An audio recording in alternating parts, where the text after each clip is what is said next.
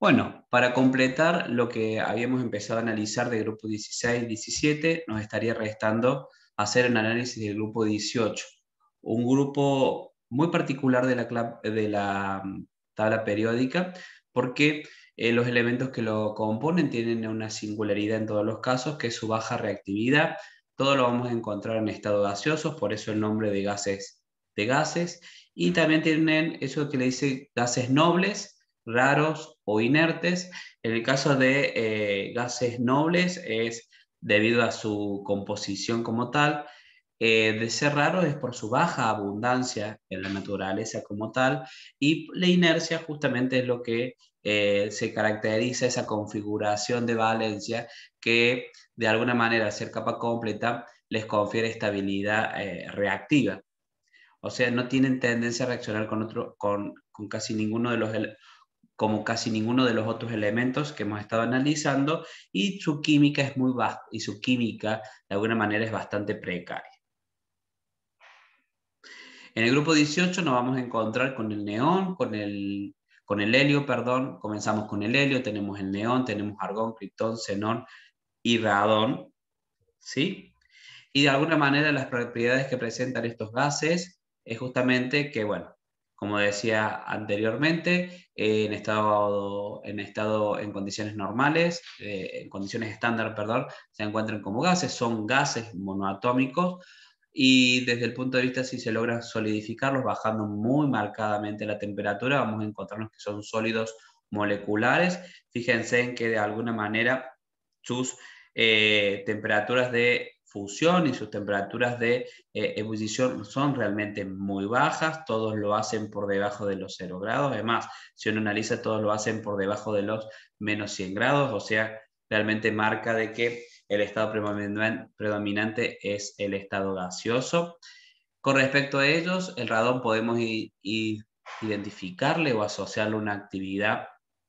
eh, radiactiva lo que les comentaba anteriormente, son inertes, por lo tanto presentan una reactividad química muy pero muy baja. Solamente se han descrito eh, compuestos para el criptón, el xenón y el radón y principalmente sobre el xenón hay un poco más de exploración con respecto a eso. ¿sí?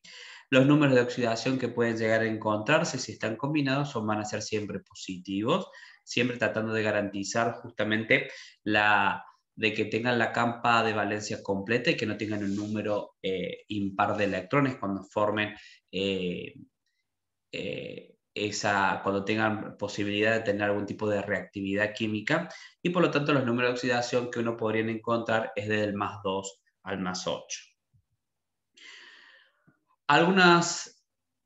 algunas eh, formas de obtención industrial y también algunos usos para que lo tenga presente. Bueno, en el caso del helio, generalmente se lo hace a partir de eh, una destilación fraccionada de gas natural. A partir de ese sistema se puede obtener el helio. Y generalmente cuando uno trabaja con helio líquido, lo, se utiliza como refrigerante como tal. Y fíjense que a una atmósfera hierve a tan solo 4,2 Kelvin, ¿sí? Por lo tanto, de alguna manera se lo utiliza en muchos sistemas para el enfriamiento de imanes superconductores eh, y sobre todo aquellos que están asociados a equipos de resonancia magnética nuclear. Y también se lo utiliza cuando algunos,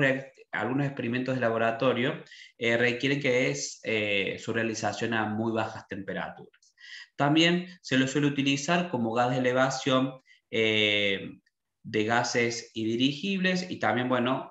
muchas veces uno lo ve que se comercializa para, eh, de alguna manera, el Senado de globos, cuando hay algún tipo de evento familiar y también hay alguna gente que hace el jueguito de, eh, no sé, inhalar un poquito de helio para que de alguna manera cambie, si se quiere decir, las condiciones en las, eh,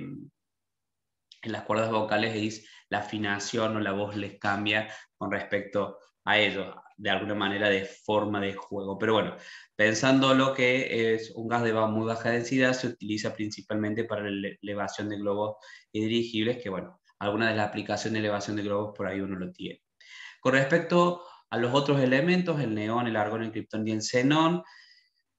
eh, generalmente se lo obtiene a partir de una destilación fraccionada de aire líquido, se encuentran en muy bajas proporciones en la atmósfera, es la fuente principal de obtención. Y de todos ellos uno podría remarcar que el argón es más, el más abundante, aproximadamente un 1% de las gases de la atmósfera son de argón.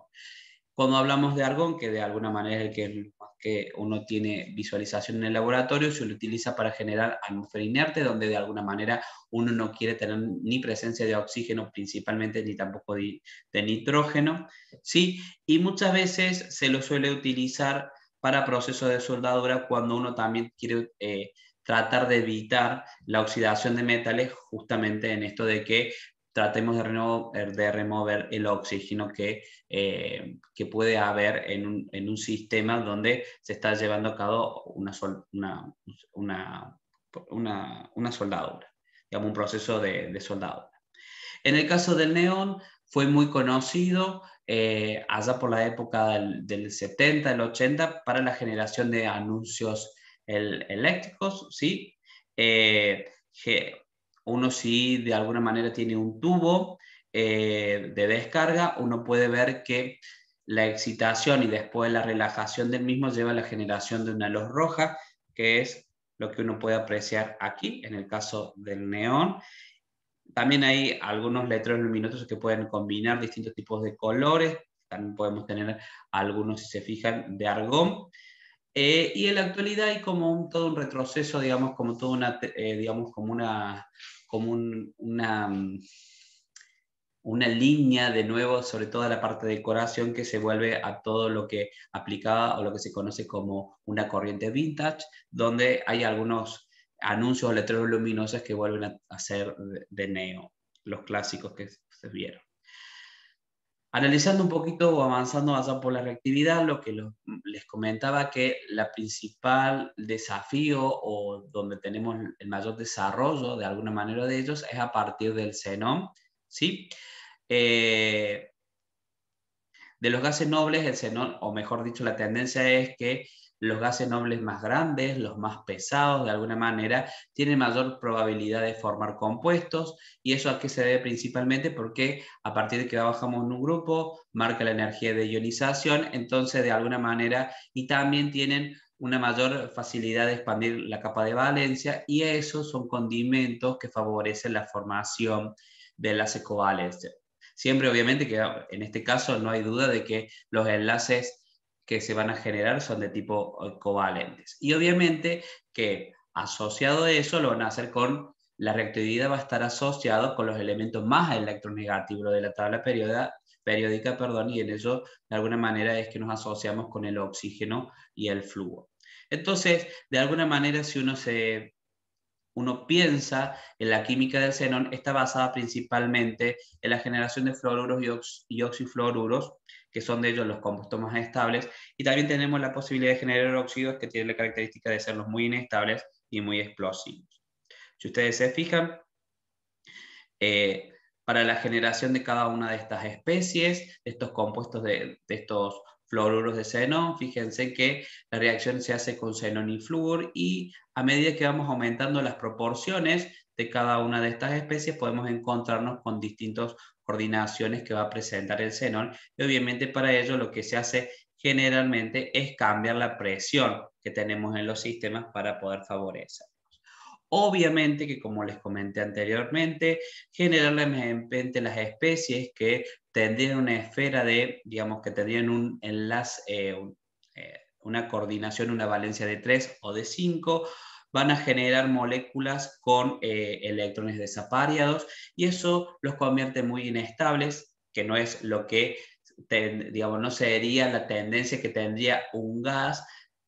que sin reaccionar es muy estable por completar su, eh, su capa de valencia, por tener su capa de valencia completa. Entonces, es lógico pensar que aquellas condiciones que lo llevan a generar eh, sistemas, o, mejor dicho, eh, tener electrones desapariados, es algo que no va a ser de, de elección y por lo tanto esos, esos compuestos van a ser altamente inestables y eso va a llevar a que casi su existencia eh, no cede.